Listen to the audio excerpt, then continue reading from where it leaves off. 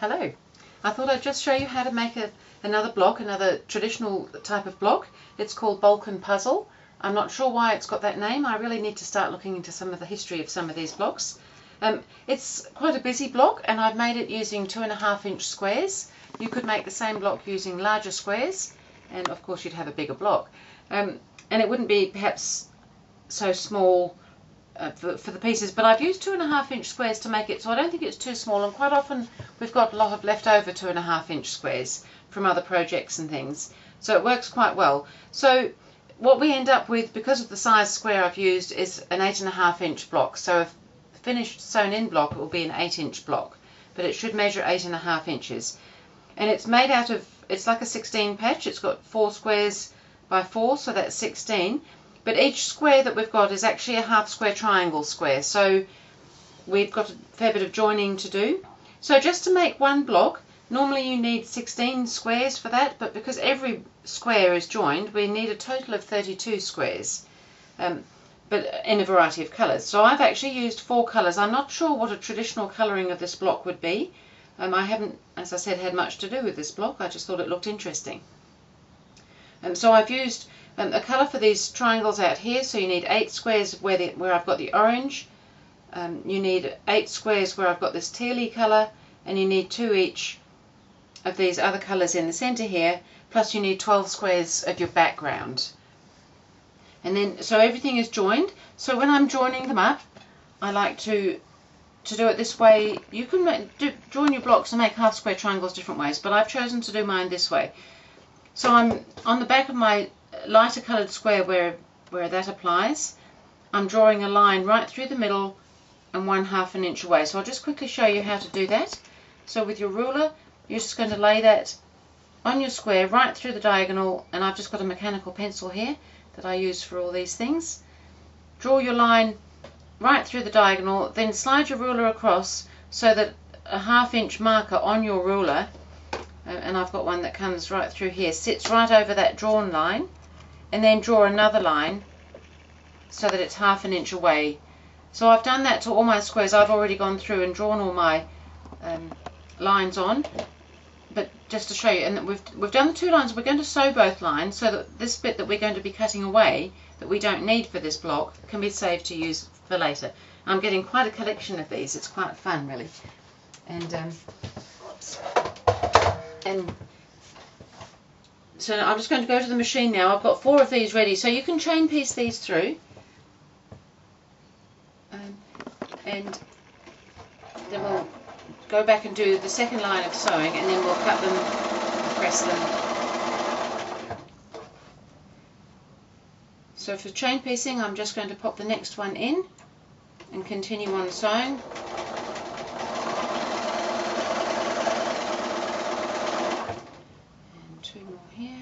Now these ones here are not on the on the light background because these are the centre. It's a slightly different colourway for this block. These are my centre bits um, here, so I'm actually joining a colour to a colour here.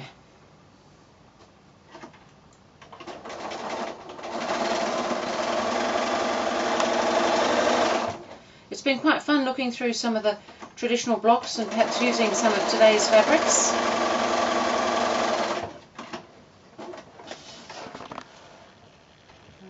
Traditionally they were often done just repeated throughout the quilt, but uh, they probably don't need to be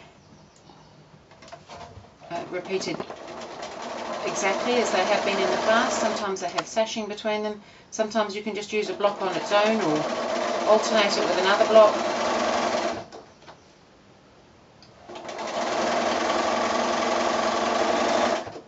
Okay, so I've just chain piecing those ones. I'm just doing that second line of sewing there.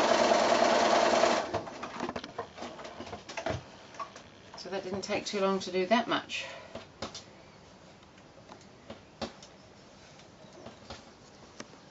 And just snip my threads off.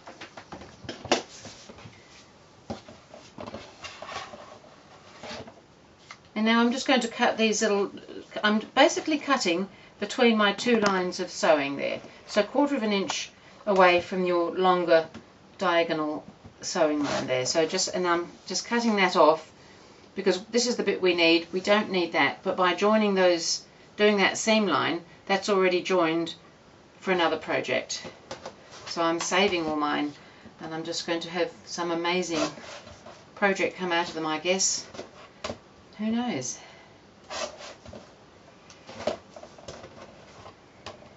So trimmed all those and now we just need to bring the iron across and I can press them. So I have already done some of my squares so that you didn't have to watch me doing all 16 of them.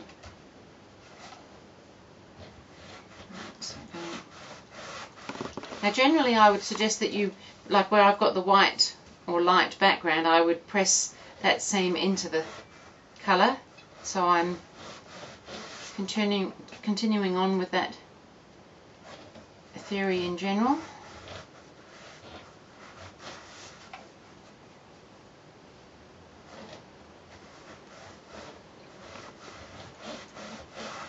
So now I've got my piece two and a half inch squares, like they don't need trimming because of uh, starting out with a two and a half inch, we've ended up with a two and a half inch. So now I'm just going to lay my my pieces out. So it looks like I've got my lighter orange where I had the other orange. This is going to be fun. This is why it's called a puzzle, I can see that now. Because it is a puzzle to me. That's going up there. And that's going there. Oh, we're on the way. There.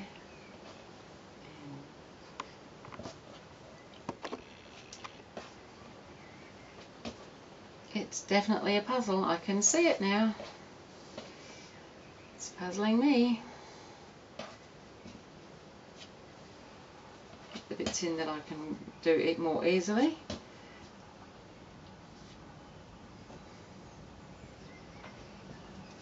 Okay, so I've got a yellow and green centre and one more piece to go in which I think goes that way yes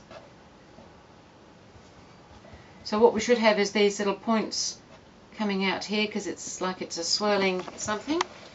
And then I'm just going to join those up initially in pairs. So I'm going to flip that over and that over and I'm going to chain piece those through. Um, and then another set of pairs to go through there. So now, because we've pressed all our seams into the darker area, they're not going to nestle like we normally like them to, but if you're just careful and position that over the top, this, you could either go back and press your seams the other way, or stitch them together. It does make for quite a bulky intersection, and I'm just going for this option. Because I'm a machine quilter and things, and the seams at, the, at, those intersection points aren't really a problem to me.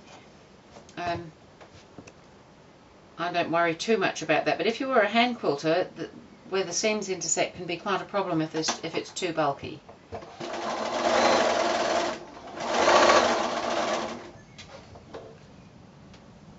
Now you just have to make sure you don't turn these around as you sew them together and stitch the wrong sides together, because then you really would have a, a puzzle. So I think perhaps we need to consider the name being Balkan Puzzle, that it is a bit puzzling.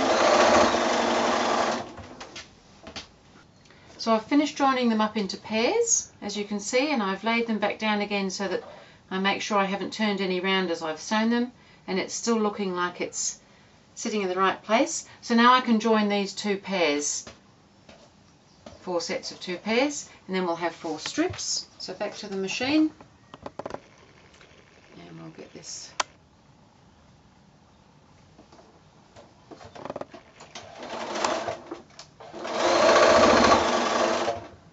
probably not the fastest block because there are so many pieces, but a very satisfying block. And I think you could probably play with the colour placements a bit and make it look quite different. But that's your job.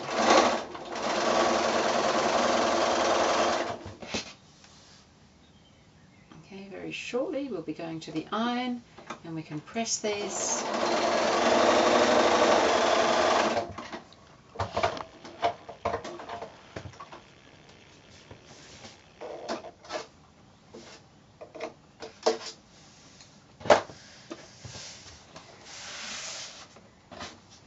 now so I'm going to press mine so that the um, all the seams go in opposite directions on each row. So we'll start at this end and press this way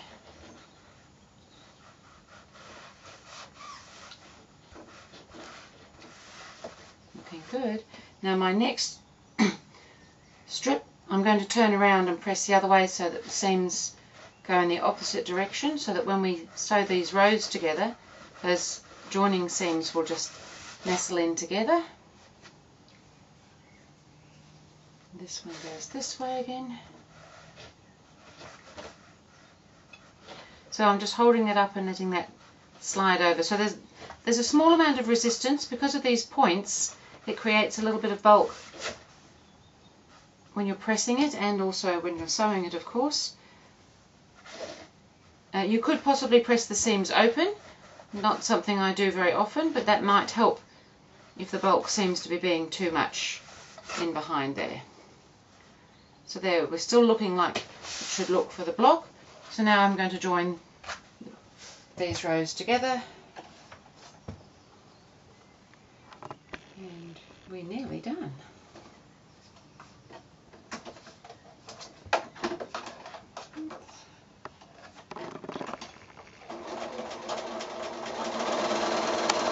Just make sure that those seams are nestling in together where they intersect there.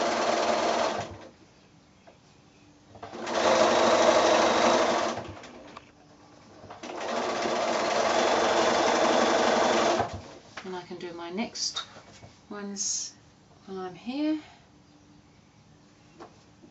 And of course if you were making multiple blocks you could be doing several at a time. I'm just showing you the one so I can only really show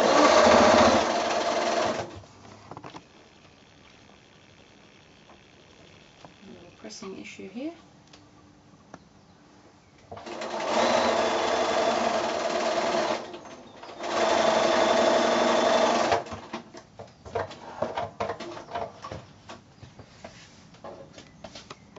And now we're ready to join those two together before we do any more pressing. So we've got that half of the block, make sure you put them together the right way, and that half so that your colours are joining in the middle there. So we'll pop those two together now. Again, nestling those seams nicely. Um, I tend to do it by feel. You could pin it if you prefer to do it that way. I find if I use pins I just get attacked by the pins all the time, which is not comfortable for me.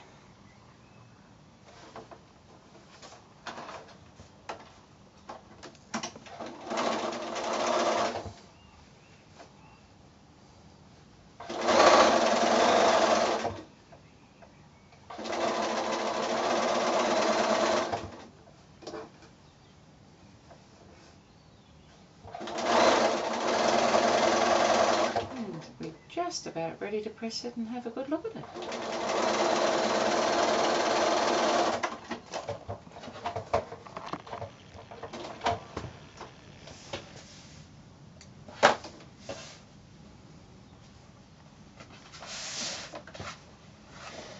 Right, so now I'm just going to press all these seams in one direction.